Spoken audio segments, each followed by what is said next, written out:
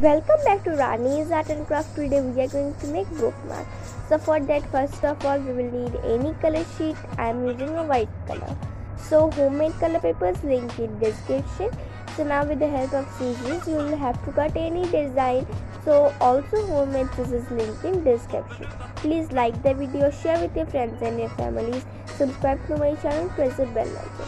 Comment your challenge suggestions or anything about this video so now guys we'll have to make a hole with the help of a punching machine homemade punching machine link in description or with the help of scissors like i am doing. So now we will take a thin any color rope. So i'm using a white no, means a red color. So let's tie it.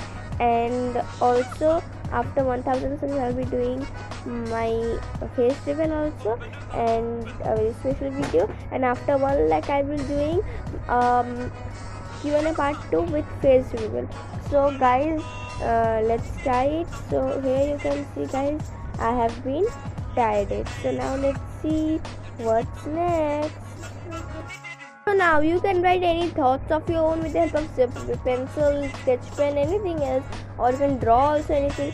So my bookmark is ready so let's check. So I have kept it inside a book and so let's see it works or not. Okay I have closed it and let's open again. Oh guys it's working. So thanks for watching. Thanks for your support. Please subscribe like share and comment